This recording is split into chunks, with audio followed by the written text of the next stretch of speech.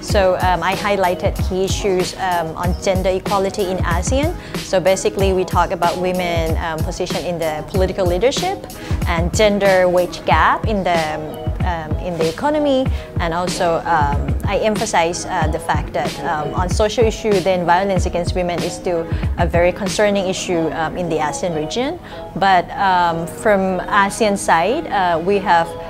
uh, done quite a lot to show our commitment um, to promote the empowerment of women and girls and gender equality in ASEAN. We have a number of declarations and then regional um, plans of actions um, on eliminating um, violence against women and children. And um,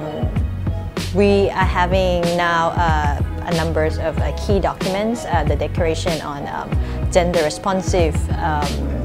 to um, uh, relation to SDGs and then we have the declaration on um, women's economic empowerment which is a very important issue that ASEAN is really keen on working right now and um, also the, the, uh, the statement on women, peace and security which I think is very timely to have that at this moment that ASEAN really want to um, work on um, violent extremism and preventing um, the, all forms of violence uh, in the region.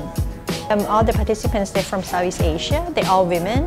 But uh, as I said in the in the in the workshop in my session, that um, they are exceptional women in the sense that um, there are a lot of women out there in this region that have faced uh, their challenges, that have um, you know that have been in the situation of vulnerabilities, and um, it's important that they understand so that perhaps uh, they can work to help those women or they can work with those women. And um, it's, it's, I think it's pivotal that um, the young women leader wisely uh, reflect and really you know come up with the solutions of okay what they can do now that um, they're part of the YSEALI network.